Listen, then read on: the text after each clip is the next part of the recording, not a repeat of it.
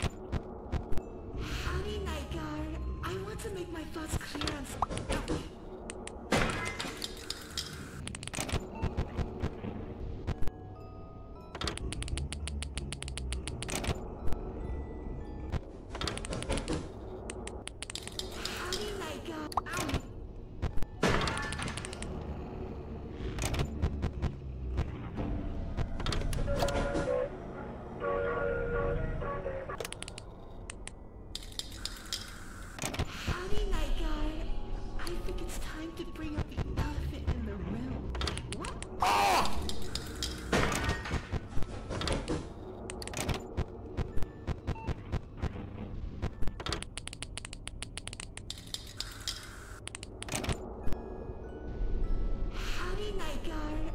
I think it's time to...